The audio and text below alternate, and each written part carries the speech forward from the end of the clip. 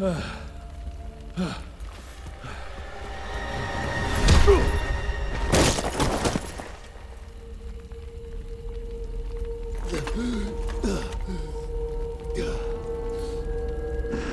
Adapt or die!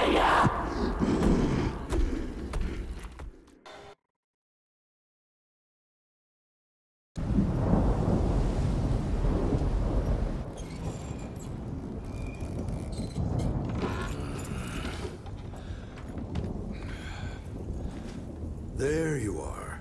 I was starting to worry you'd never wake up.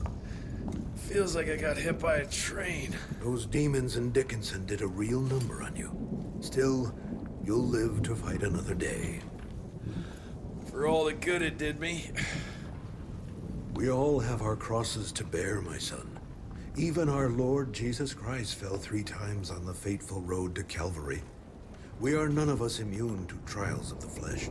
At least he could finish his mission. Oh, come now.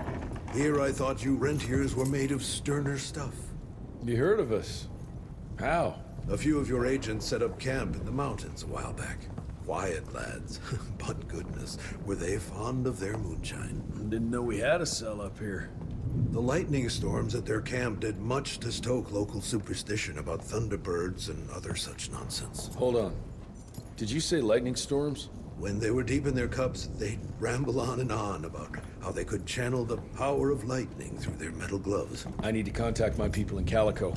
Is there a telegraph station nearby? A couple of miles south, sure. But there's one small problem. Probably should have led with that, Padre. They started creeping out from the holes in the ground after we got back from Dickinson. Lord knows how many of them there are by now. Send your fastest man out to the telegraph station, then get everyone into the church and stay put until dawn. Before you go, Hunter, one of your people left this explosive contraption here last time.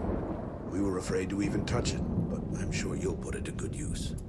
Is there anything more we can do to help? Pray.